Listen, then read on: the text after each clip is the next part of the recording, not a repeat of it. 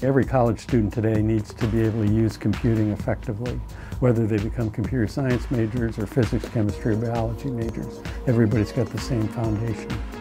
In a remarkable series of textbooks, Robert Sedgewick has educated a generation of programmers who need to know classic algorithms in order to build the computational infrastructure that surrounds us. For four decades, these books have profoundly influenced all levels of computer science education.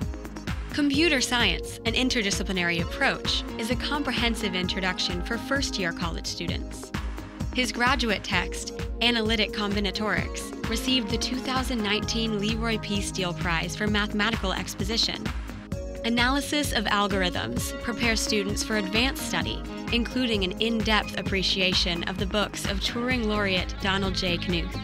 Before Knuth, uh, people were confused about whether we'd really ever understand what computers are doing.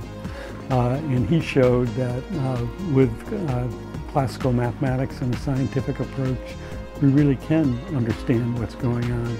And that really uh, led us to the development of algorithms that scale, effectively solve problems. In recent years, Sedgewick has turned his focus to online education and designed extensive, highly innovative online content that attracts millions of visits per year. Sedgewick has recorded more than 60 online lectures that reach hundreds of thousands of students every year. And the Sedgewick Wayne Algorithms course is considered one of the top 10 MOOCs of all time.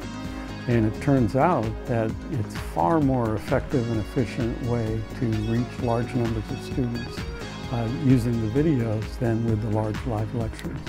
Uh, and we've been able to uh, reach large numbers of students uh, and teach them more effectively and efficiently than ever before.